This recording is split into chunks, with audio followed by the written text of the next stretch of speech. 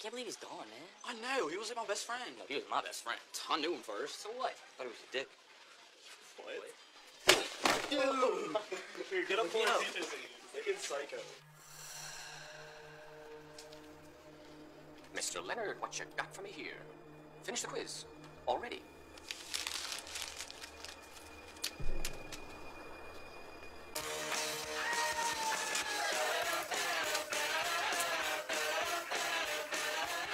Can't believe the tiny people eat these rats. They'll eat you if you don't watch out.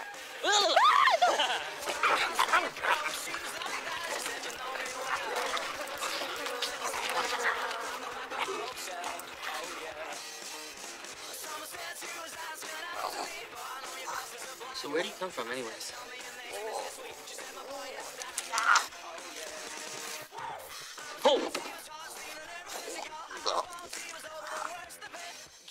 I guess I could probably like open this up and he'd probably turn into dust or something, huh?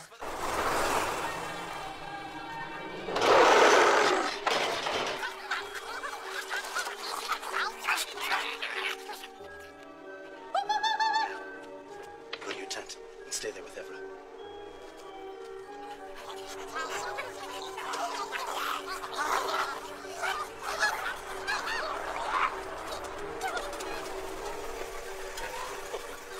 Yes, I have returned.